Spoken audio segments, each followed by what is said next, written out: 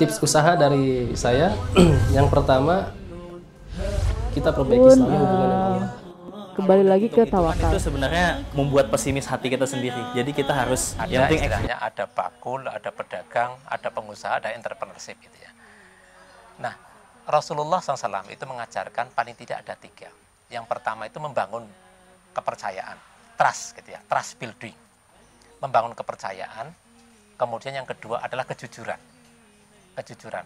Orang berbisnis itu harus benar-benar jujur. Karena apa? Bisa jadi apalagi sekarang era bisnis online gitu ya. Di katalog yang ditayangkan misalkan medsos itu baik gitu ya. Ternyata ketika dikirim sampai ke customer barangnya tidak baik. Ya, itu bisa. Nabi itu membangun kejujuran, kemudian membangun kepercayaan, trust building, kemudian yang ketiga adalah membangun jaringan. Jadi ada semacam net gitu ya.